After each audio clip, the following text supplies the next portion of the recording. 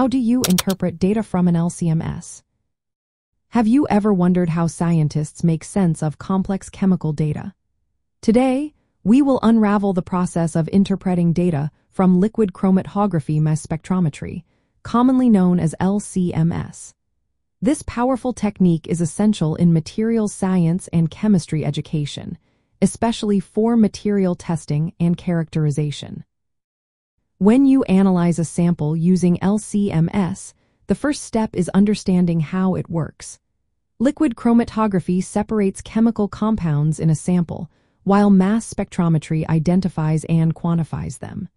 The result is a wealth of data that requires careful interpretation. The primary output you will encounter is the chromatogram. This graph plots the intensity of detected ions against their retention time. Retention time indicates how long it takes for a compound to travel through the chromatography column to the detector. Each peak in the chromatogram represents a different compound present in the sample.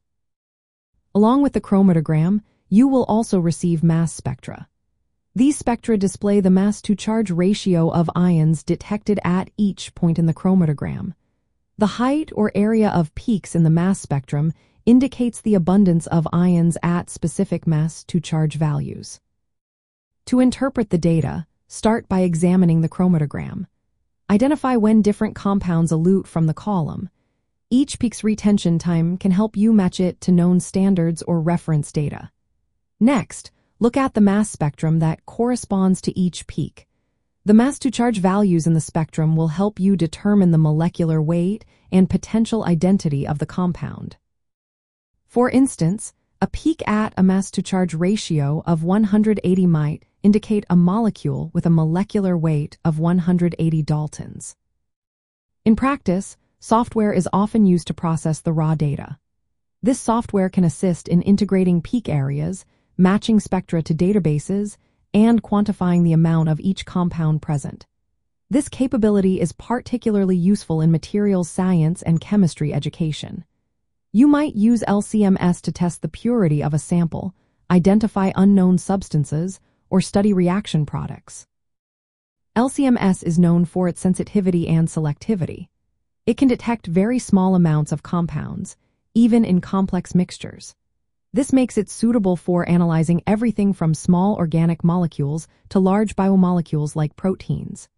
In educational settings, Students often use LCMS to confirm the identity of synthesized compounds, check for impurities, or study the composition of materials.